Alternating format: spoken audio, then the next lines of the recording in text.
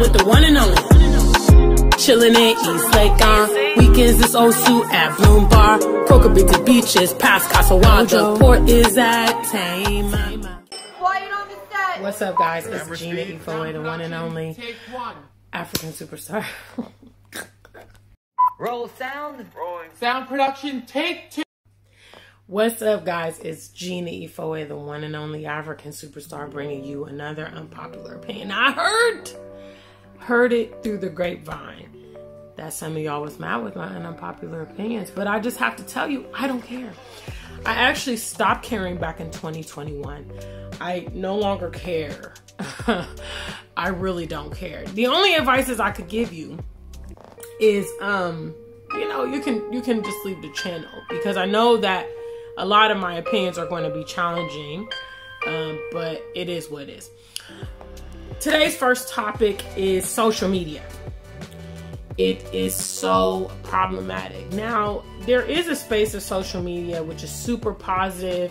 It provides a lot of exposure. It also provides like an avenue for us to have global connections, um, which I think is so valuable, especially for someone like me. I've migrated um, you know, now living in my, my second uh, country. And I've been able to utilize social media to get a lot of gainful information. However, however, however, the downside of social media is extensive. Um, and I think that it really contributes to people being socially awkward and not having social skills. I mean, I think one of um, the benefits of like the school system or whatever is you learn how to interact with people from different walks of life. You learn how to negotiate challenges. Some people you know have to deal with bullying or have to learn communication skills. And for instance if you are romantically interested in someone you're going to have to get the courage up um, to, to, to reach out to that person one way or shape or form. I think that social media promotes voyeurism and stalking.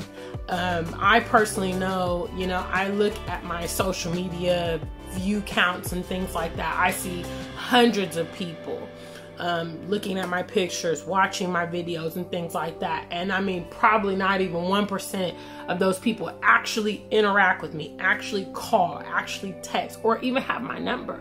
You know, so I think that that's a drawback because a lot of people are feeling lonely even though they have a lot of social media interaction or having physical interaction. So that leads me into my second point, which is uh, selfies on dating apps. It is one of the most annoying things ever. Like, I told you guys I use the app Tinder, and you'll go in there and it's like six selfies of the same guy. It's like, yo, fam, show a full body pic. like, and I'm gonna keep it 100 with you. Ladies, we wanna see how tall you are, guys. Yeah. So, you know, we're gonna try to like compare your arm length to your leg, see, you know, if there's there's a difference there. We're going to look at you in the door frame and try to say, okay, he's tall, he's short. You know, we want to see you standing next to your friends and just get a full body picture. Because sometimes your face is cute, but the rest of you is not cute. I mean, you're trying to sell yourself, you know what I mean? Put a full body pic. You know, show yourself in action, show yourself in movement, you know, at the gym or traveling or, you know, like I said, with your boys out on the town. Hello. Oh, guys, another pet peeve. Uh, you all know that Facebook profile that sends you a Facebook request and you go to the profile and it's like all memes, all inspirational quotes and you're just like, who is this person? Listen. Listen. That is what a profile picture is for. It's your profile, okay? It's your head, it's your face to identify yourself, okay? It's so annoying. Me personally, if I get a Facebook request from someone with no profile picture, I immediately just delete it. Like, I'm not playing these games. You know, you can go on my you can go on my uh you know, social media and see myself. I mean, I know I'm a social media personality, but still, you should at least have some identifying pictures. If you're that secretive and that hidden, then don't be on the social media because that's what it's there for. Now I'm going to switch gears, okay? So bear with me now. I want to say that I'm very happy that the rainbow people got rejected from Ghana. Yes, I know some of you might you might be sensitive to the rainbow community, but I just got to say I moved away from America to get away from all that stuff. Okay? I like a traditional environment. Okay. I like a black majority. I like where men like women and women like men and there's families.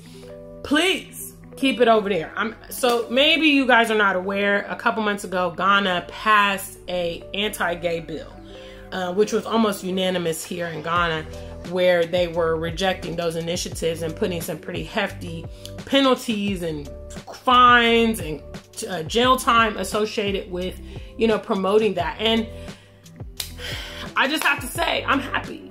You know, it's unpopular opinion. You know, um, my next unpopular opinion is people that don't apologize are not sorry. Even some people that apologize ain't sorry. And this is one of my biggest gripes with like Christianity, for instance, which is like, oh yeah, just forgive everybody. Like, just forgive everybody, irrespective of what they do, irrespective how they treat you, irrespective if it continues. Just forgive them because it's in good measure. No, no, No! that is so ridic- ridiculous. You can't forgive people that have never asked for, you know, forgiveness. Because they don't care. And if we look at people, for instance, who have not asked for forgiveness, wink, wink, it continues. See, I don't personally believe in forgiveness because I know a lot of people are doing what they're doing because, you know, they want to do it. Most of us, I mean, 99.9% of us know exactly what we're doing. Even children know, okay, when I cry, mom's to come. I can, you know, if I do this and that, I can blame my brother or sister. So the, the human psyche processes and understands. Now, I can, you know, probably exclude um, people that maybe have some mental illnesses or maybe disabilities. But I mean, I've also worked in mental health, and those people are also able to discern how to manipulate and how to get certain reactions and things like that. So I find it very difficult to know. Uh, that people don't know what's happening. And I think it's crazy that we are also geared towards an afterlife. That's my final uh, unpopular opinion for this segment, which is I don't believe in afterlife. You know, I basically came to the conclusion I had to suspend judgment on afterlife because it cannot be verified. And I do think that the mentality that you live your whole entire, you know, living life, adult life, in expectation of a of an afterlife that you can't verify.